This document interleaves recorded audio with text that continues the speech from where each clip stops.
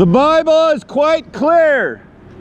Everybody that's gone to the Sing event, listen to what the Word of God says in the first chapter of Isaiah, or in Jeremiah 7, or in Amos 5.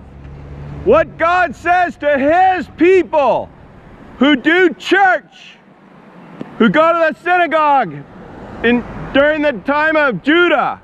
Here's what God said to those people. He said, I hate your worship. He said, though your prayers be many, I will not hear them. All right, he said, lay down your instruments. First, bring justice to the land, and then come back, and I will accept your offerings and sacrifices. Then I will hear your prayers. People, there are abortion clinics all across America. And the pastors and Christians are not out there. They're also not trying to make abortion illegal. Most Christians have a good moral opinion and they are pro-life. But the pro-life movement regulates when, where, and how you can have an abortion. The pro-life movement is a secular, wicked movement. We must do what we did with slavery. We abolished it. People, Christians, rise up and make abortion illegal. Helping women is great, good stuff. Helping crisis pregnancy centers is great, good stuff. But it won't make abortion illegal. We need to make abortion illegal. God is God is clear when he talks to his people. He says, oh man, you know what you should do. First, bring justice to the land. Lay down your instruments.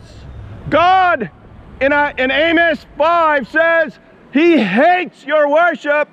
God was talking to his people. He was talking to Judah. During that time, child sacrifice was legal and it went unopposed by God's people. And God told those people, you are making me your enemy.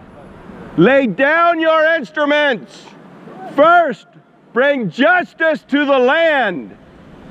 The number one cause of death in America is child sacrifice. We should not be pro-life and regulate how, when, and where you can murder babies. We need to make it illegal.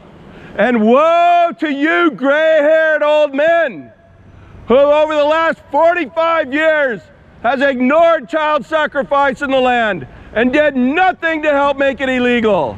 For you are supposed to stand at the gates and protect those who are being led to the slaughter and defend the innocent.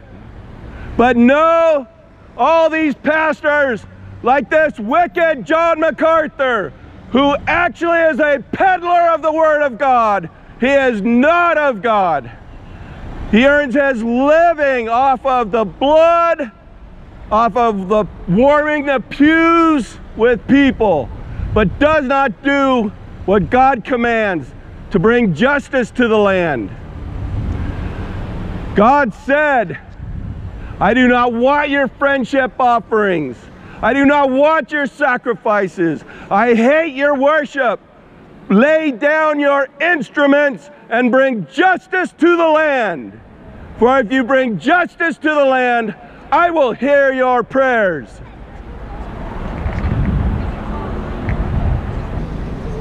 The pro-life movement is a wicked movement for it regulates child sacrifice.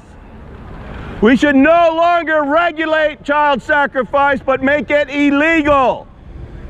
The pro-life movement regulates when, where, and how you can murder babies.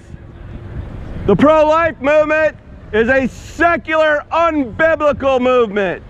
We need to abolish human abortion. We need to make it illegal. God says in Amos 5, that he hates your worship. And God is talking to his people. The reason he hates your worship is because you live in a land that ignores child sacrifice. that number one cause of death in America is child sacrifice. But you whitewash tombs go to sing events and you think God is happy with you. Woe to you gray haired old men who should have been standing at the gates for the last 45 years defending the innocent.